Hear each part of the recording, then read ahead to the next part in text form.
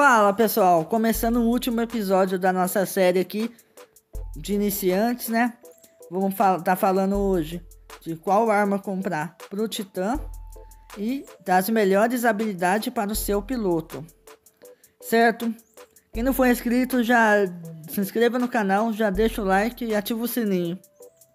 Bom, vai depender do seu Titã, né? Qual Titã você tem?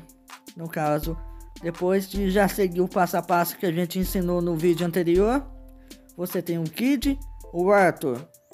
Ou se você já é mais é, avançado, você tem o Minos, Charanga, o Muromedes ou Luchador. Qual arma você deve comprar? Então, pessoal, vou estar tá passando a minha opinião aqui para vocês, tá? É, vocês sabem que recentemente teve rebalanceamento de Titã, certo? Então a maioria das armas aqui ficou uma porcaria.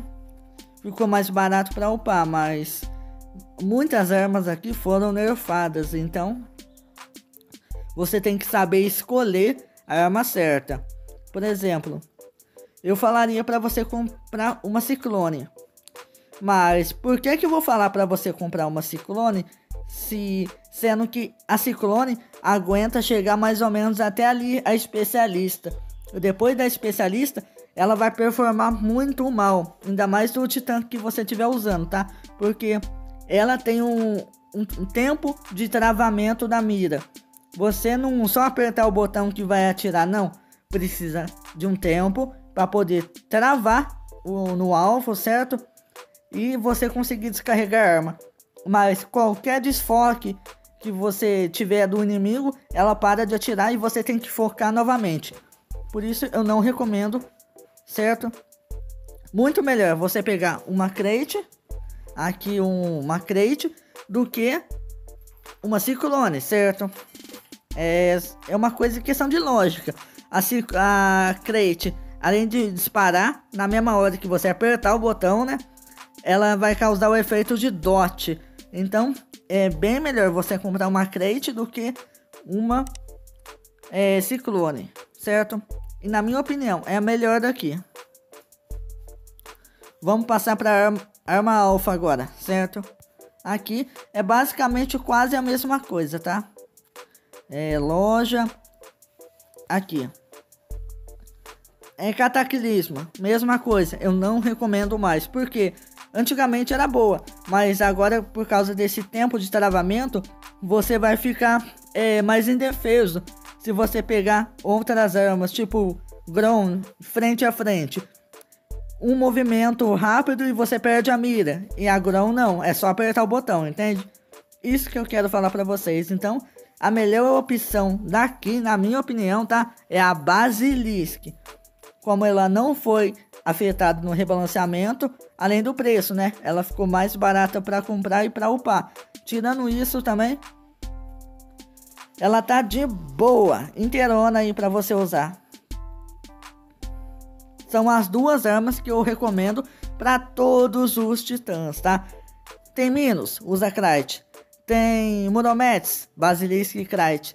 Tem Charanga, Basilisk. E assim vai, tá?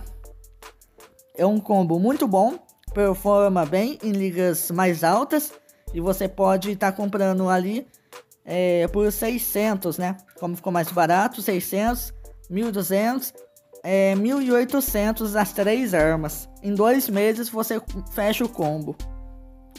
Vamos passar agora para habilidades de piloto, certo? Existe, vamos colocar cinco é, tipos de robô, certo? Vamos começar com Seraph. Apoio ofensivo aéreo. Skyros, corredor. Revenante, tanque. É Mars, apoio ofensivo terrestre e também serve como corredor. É Demeter, suporte, certo? Vamos colocar assim uma, uma categoria para cada robô, para cada tipo de robô, certo? Vamos lá. Quais habilidades colocar no, no Seraph? Que no caso, apoio ofensivo aéreo. Especialista em armadura, dono da rua, mecânico. Isso não pode faltar, tá? Se tiver alguma habilidade a mais que tanque, como no Serafim, piloto cauteloso, pode colocar também, tá? Alguma habilidade para deixar mais rápido, além do dono da rua, pode colocar também. Aqui no caso é espião. Destruidor, sempre é bom colocar, tá? Vai aumentar o dano da habilidade. Isso é muito bom. Vamos passar agora para o Skydos, que no caso é um corredor. Aumentar velocidade, explorador, espião. Ajudar ele a tancar mais. É, dono, dono da rua, não. É especialista em armadura. Dono da rua, explorador e espião faz parte da velocidade. No caso, ele é um corredor, certo? E daí eu coloquei aqui especialista em escudo de energia. Porém, aqui era para ter colocado eletricista maluco, só que não caiu de jeito nenhum. Daí eu acabei deixando assim mesmo. E mecânico. Especialista é, de módulos também não era para estar tá aqui. Era para estar tá um trapaceiro, que é bem melhor, tá? Mas foi o que eu consegui colocar. Vamos passar para o próximo um tanque. Vamos pôr um tanque aqui. É, piloto cauteloso, especialista em armadura e valentão. Tudo que tanca. Dono da rua para deixar um pouquinho mais veloz. Trabalhador milagroso e mecânico para ajudar na recuperação de vida. E trapaceiro para fazer aquela, aquele módulo ativo carregar mais rápido, certo? Vamos passar agora para o apoio de fogo terrestre. É, no caso, um Typhon também funcionaria como, tá? É, especialista em escudo de energia, dono da rua, especialista em armadura, espião, eletricista maluco que não pode faltar, explorador e trapaceiro. Certo? Vamos lá. Opa. Vamos lá agora para o suporte. As melhores habilidades para o suporte. Porém, eu não tenho um suporte aqui upado. Coisa que eu tenho que fazer também. É, tanto para trazer vídeo, para deixar como modelo também, né? Das habilidades. Opa. Aqui, A primeira habilidade que você deve pegar Claro, se você conseguir. As de verdade. Isso aqui faz uma grande diferença. Parece que não, mas faz uma grande diferença. Pegou as de verdade? Agora você vai pegar especialista em armadura.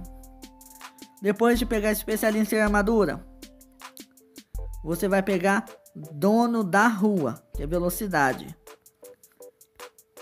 Aqui, dono da rua. Se tiver mais um para aumentar a durabilidade do robô, pega também, tá? Que no caso aqui tem especialista em armadura e valentão também. Isso aqui é bem legal de estar tá colocando, tá? É, tá, as de verdade depois. Daí, se tiver também mais uma habilidade para deixar ele mais rápido, pode colocar. Que aqui é explorador. Acho interessante ter no um suporte.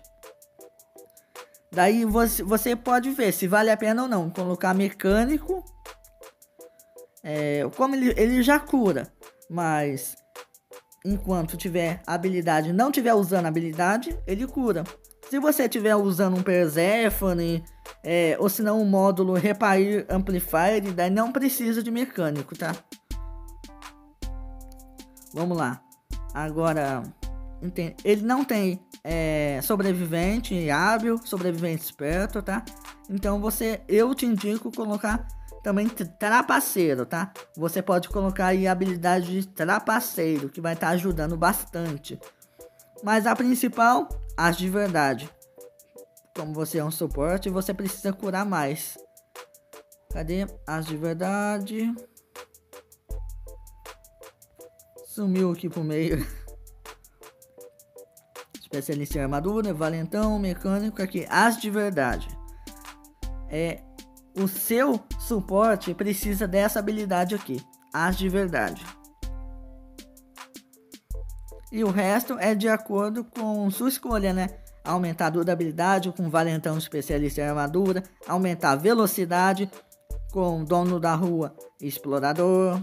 E depois você vem moldando de acordo com a sua jogabilidade. Certo? Espero que tenha entendido aí para vocês. É, esse foi o último episódio, né, do nosso, da nossa pequena série aqui, iniciantes. Espero que tenham gostado, tá? Se vocês gostaram, é, deixa aqui nos comentários. Quem sabe eu trago falando sobre armas também, sobre módulos. Então, pessoal, eu vou ficando por aqui. Até o próximo vídeo ou a próxima live. Falou!